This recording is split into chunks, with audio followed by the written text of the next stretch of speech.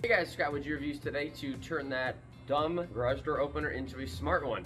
Real quick and easy install with the Smart Garage Control by Chamberlain. Let's do it.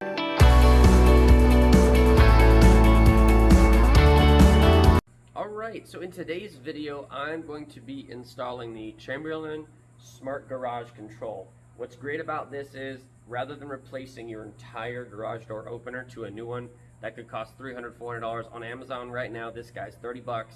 The link is in the description below. Why I'm doing this is we've come home several times and I, of course, forgot to close the garage door and I've got all my RC cars in here, I've got fishing gear, all this kind of stuff. Uh, so it's a little stressful when you come home. You get into wife and I get into a little bit of an argument, so I think hopefully this will solve that problem. It'll alert you if your garage door open, uh, your garage door is open for more than five minutes, 10 minutes, whatever.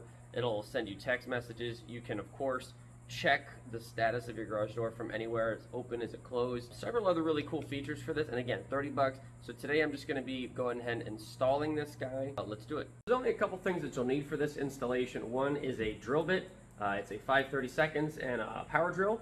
And you'll need a tape measure also to measure things. So it's going to need to be within five feet of an electrical outlet and then at least six feet above the floor for the uh, the hub portion. So basically, we're just gonna mount this guy on the wall. We're gonna mount the sensor and kind of in the top left-hand corner of our garage door, and I'll show you all that in a second.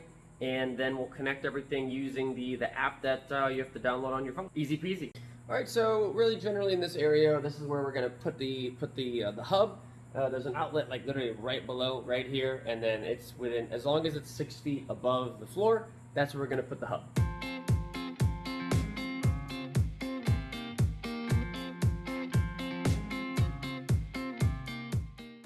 Alright, so that's all hooked up now. It was just a real simple process. Two screws, you wrap around the cord once that's done. So let's go ahead and just uh, grab our garage door. And it says to put the sensor kind of in the top, either the top left corner or the top right corner. So obviously everything's closer over here. So I'll just end up probably sticking it somewhere in this area here. There's an option to just stick this guy, the, the sensor on the door somewhere, but honestly, you can see my door already has some kind of pre-drilled holes. So I'll probably just end up utilizing a couple, maybe one of these, and then i will just drill one hole, and then the thing will be solid forever. So I'm gonna go ahead and uh, do that now.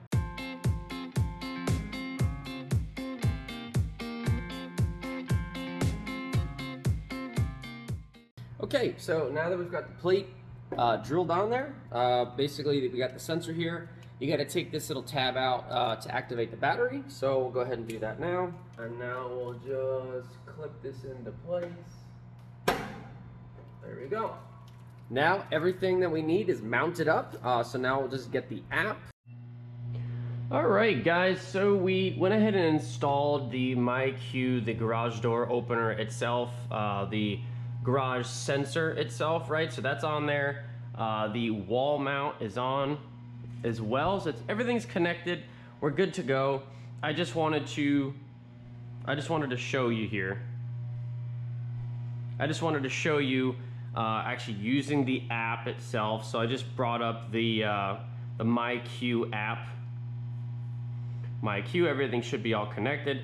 It's really easy. So it says garage door closed for four hours. So all we have to do to open up the garage door now is just go ahead and tap open. It's just gonna open right from the phone.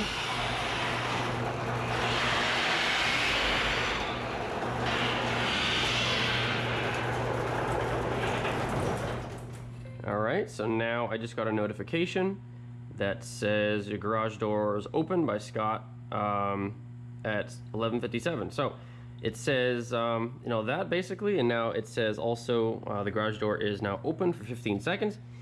And uh, if you want to just go ahead and shut it, it's really easy. Same same process. Just double tap. It says close. That guy's gonna beep. I think five times. Three, four, five.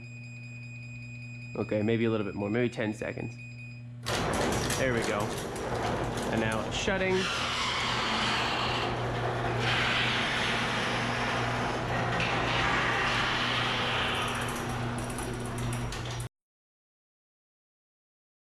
All right, and now it says closed. So pretty easy. Really, like I said, it works with any Um, I feel like almost any garage door opener. I have a uh, Chamberlain LiftMaster Professional to half horsepower, um, and I had this um, the purple button on the back.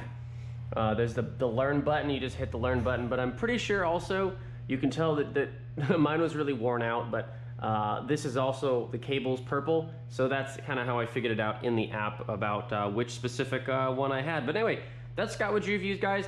Uh, I think this is a great addition to anybody who's left their garage door opener open uh, a couple times. And another cool little bonus is that uh, you can also do Amazon Key. So if you connect the MyQ app with Amazon, if you have Amazon Prime, they will uh, allow you to make the option when you hit delivery, you can actually do My Key um, or Key delivery and they can actually open the garage door, leave the package in, and then close the garage door. I've done that a couple times now. It's uh, pretty nifty. So that's uh, another cool little additional bonus. But like I said, I think this thing's like $30 on Amazon. It's so good. It's so awesome. It's just a quick little integration rather than replacing the whole, uh, the whole garage door opener itself. Uh, just put this in there. And uh, if you have any questions, please let me know. Uh, I'll have a link in the description of where to buy this thing, but uh, super recommended. It's an awesome product. Um, and if you have any questions, let me know. Thanks so much for watching. Take care. Bye-bye.